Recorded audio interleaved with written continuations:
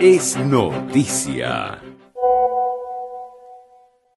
El diputado de la Asamblea Nacional, José Salazar, denunció que la salud pública en el Estado Bolívar está en colapso.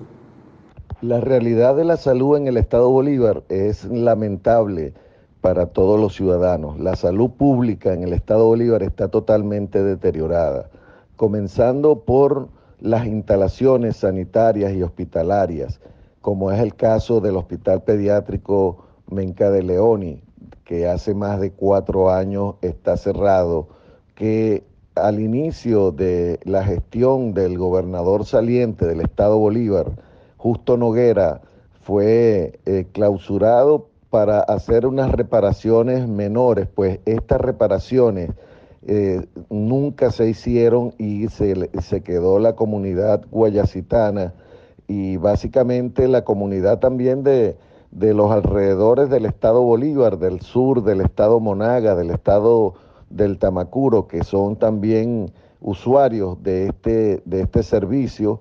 Eh, los niños quedaron sin la atención de un hospital motivado a que eh, dentro de este régimen realmente no hay la sensibilidad para atender este grave problema. El parlamentario señaló que el régimen gasta los recursos en armas y show, mientras los ciudadanos pasan penurias. Es noticia.